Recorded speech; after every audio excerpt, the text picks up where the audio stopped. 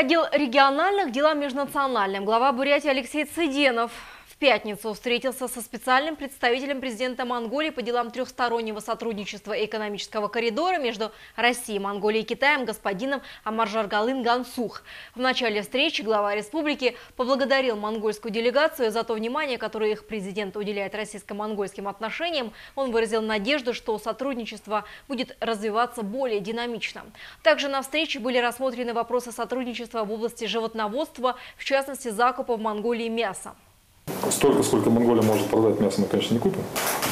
Да, но по чуть-чуть хотя бы мы все равно поставляем в Бурятию мясо э, и э, Санкт-Петербурга с портов импортное, и из Молдавии даже. Да, поэтому эти объемы мы легко можем заместить на монгольские поставки. Также речь зашла об автомобильном транзите между Россией, Китаем и Монголией.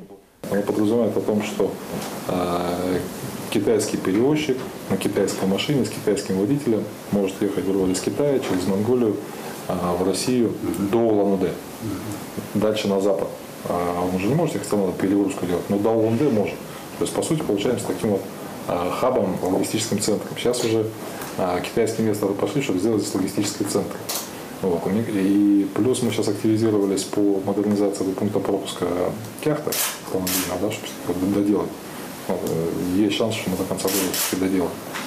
Вот, поэтому э, ну, и в этом направлении у нас тоже может быть увеличенное э, сотрудничество. В свою очередь господин Гансух отметил, что отношения между Бурятией и Монголией перспективные, и они готовы к плодотворному сотрудничеству.